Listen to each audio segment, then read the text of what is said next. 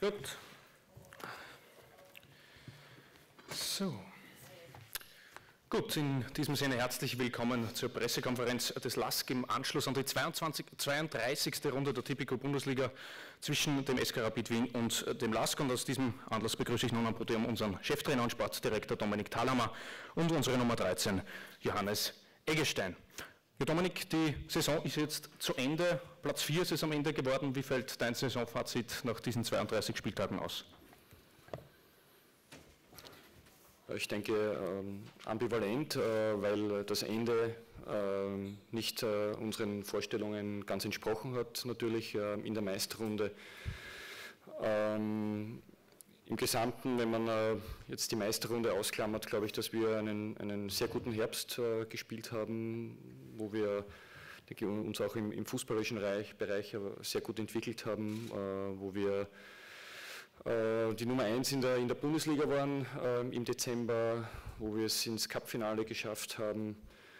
Ähm, dann ein durchwachsenes Frühjahr, eine nicht so gute Meisterrunde, aber auf der anderen Seite wieder ähm, sehr gute Spiele in der Euroleague-Qualifikation äh, gegen Dunais Castreda und, und äh, Sporting Lissabon, die, glaube ich, jetzt dann auch relativ klar portugiesischer Meister geworden sind.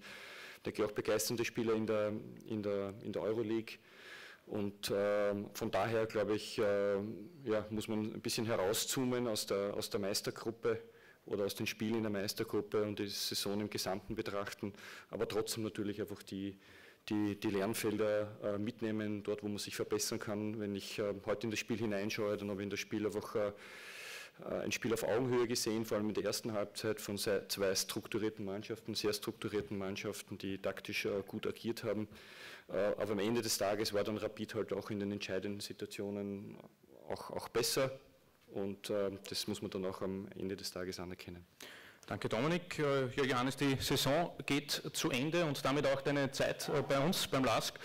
Ähm, vielleicht kannst du uns ein kurzes persönliches Fazit deiner Leihe beim, beim LASK geben. Ja, also ich glaube, ähm, das Mannschaftsfazit hat der Trainer gerade schon gut zusammengefasst. Ich glaube, wir hatten viele gute Spiele, viele gute Aspekte auch in dieser Saison dabei. Ähm, ja, mit dem Pokalfinale in der Europa League haben wir, glaube ich, äh, sensationelle Spiele gehabt gegen, gegen Tottenham beispielsweise.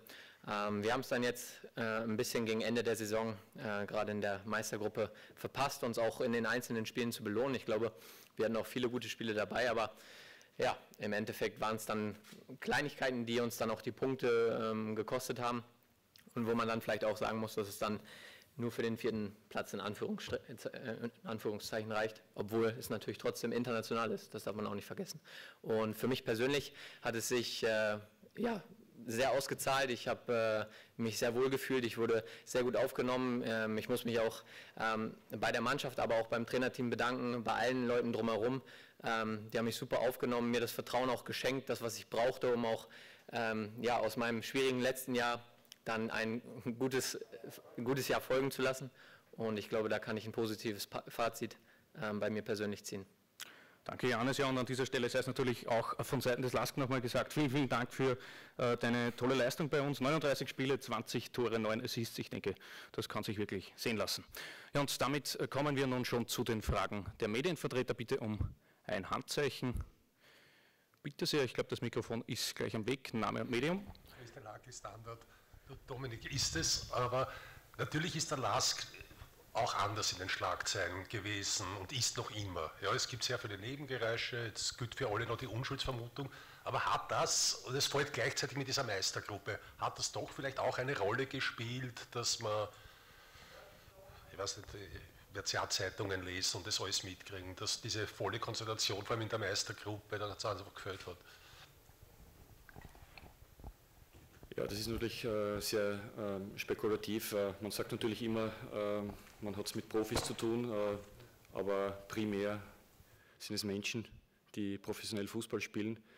Ähm, aber einen Impact auf das ist schwer, schwer einzuschätzen, glaube ich nicht, weil äh, wir auch immer versuchen, bei uns zu bleiben und, und äh, unsere Spiele ja, in, in unserem Bereich äh, auch, auch faktenorientiert einfach zu, zu analysieren und, und äh, von daher ja, glaube ich das am Ende des Tages nicht. Nächste Frage, Georg Lebelhuber, Kronenzeitung. Dahlhammer, Sie sprechen von einer nicht ganz so guten Meisterrunde. War sie nicht eher viel mehr oder eher katastrophal? Zwei Siege, sieben Niederlagen in den letzten elf Pflichtspielen, zwölf sogar, Entschuldigung, Pflichtspielen. Ich meine, das hat ja mit gut nichts mehr zu tun. Wer hat, wer hat gut erwähnt? Sie haben gesagt, eine nicht ganz so gute Meisterrunde habt ihr gespielt. Ja, die Meisterrunde war nicht gut, ja. Also das, ja, aber war sie nicht eher katastrophal? Das war meine ja, Frage. Kommt darauf an, immer wie man, wie man das beurteilt. Also wenn Sie natürlich jetzt nur die Ergebnisse hernehmen, dann muss man davon ausgehen, dass es äh, keine gute Meisterrunde war und die war schlecht und, und die Ergebnisse haben nicht gestimmt. Es hat auch die Form der Spieler nicht gestimmt, es hat eigentlich gar nichts mehr gestimmt. Es hat ja. vorne nicht mehr gestimmt, es hat hinten nicht mehr gestimmt. Man hat in den letzten zwei Spielen acht Gegentore kassiert. Also ich finde, es wäre am Ende der Saison ein wenig mehr Selbstkritik angebracht, weil so wird man nicht weiterkommen. Ich glaube, dass genug, genug Selbstkritik äh, erfolgt. Äh, ich wollte einfach auch nur mal klarstellen, dass die Meisterrunde nicht so war, wie wir sie uns vorgestellt haben. Die äh, Punkteausbeute war nicht gut und die gesamte Saison möchte ich aber auch äh, jetzt so hinstellen, dass äh, wir da äh, jetzt das nicht ganz schlecht hinstellen dürfen, wenn man die gesamte Saison im, im, im Gesamten betrachtet. Anschlussfrage? Glauben Sie, dass Sie in der nächsten Saison noch Trainer hier sind? Ja. Okay. Gut, gibt es weitere Fragen? Bitte um weitere Handzeichen. Ich, Alexander Huber, Kurier.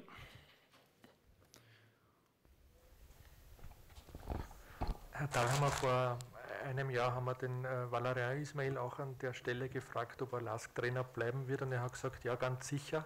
Eine Woche später war er dann Ex-Trainer. Jetzt wollte ich gerne einfach nur äh, nachfragen, weil Sie so das so überzeugt gesagt haben.